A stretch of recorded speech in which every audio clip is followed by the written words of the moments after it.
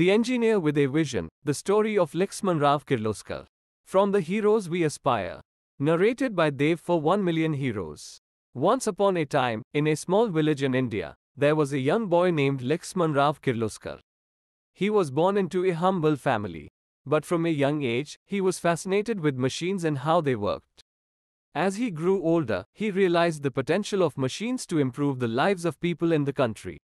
Determined to bring about a change, Laxman Rao Kirloskar worked hard to become an engineer. He studied hard, and in 1907, he graduated from the prestigious Pune Engineering College.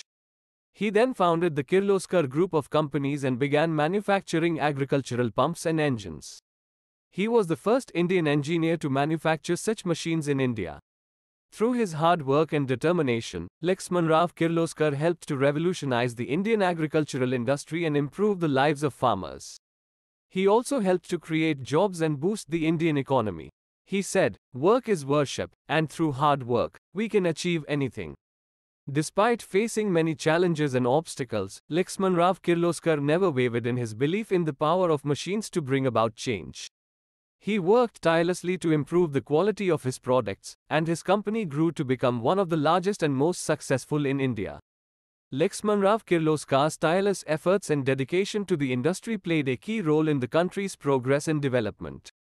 He was a true patriot and always believed in the power of self reliance and self sufficiency. He was awarded Padma Bhushan in 1955 for his outstanding contribution in the field of industry. His legacy continues to inspire future generations to work together for a brighter and stronger India. By following in Laxman Rao Kirloskar's footsteps and embodying his spirit of selflessness, hard work, and determination, we too can make a difference and become heroes in our own lives. Work is worship, and through hard work, we can achieve anything.